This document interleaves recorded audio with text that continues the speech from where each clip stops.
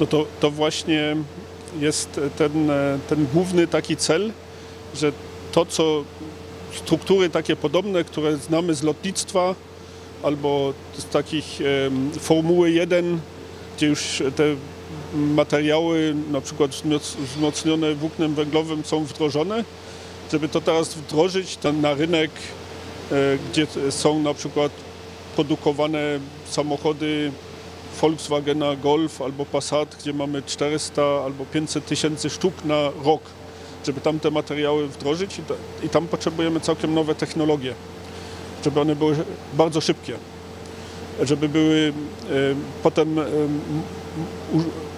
mógł to każdy użyć, użyć nie? i wtedy mamy rozprzestrzenienie takich struktur lekkich, które nam znowu pozwalają e, zredukować, e, zaoszczędzić paliwo i zredukować CO2, e, dwutlenek węgla. Es ist zwar ein zweiseitiger Prozess.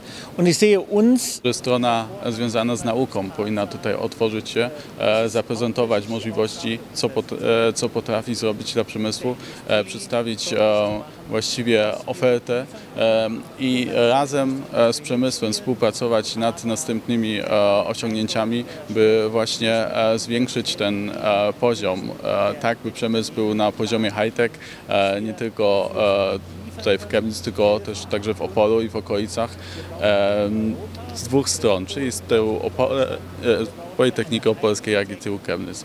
Em, Myślę, że e, tutaj ten kierunek powinien jak najbardziej objąć całą Europę e, i dalej e, przynieść przykładem. und ich glaube, Also die Kooperation mit den Firmen gibt es schon lange.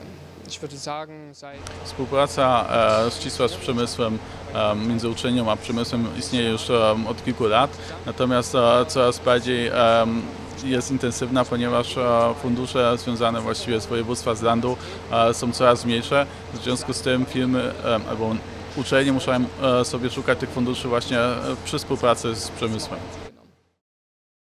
Politechnika Opolska.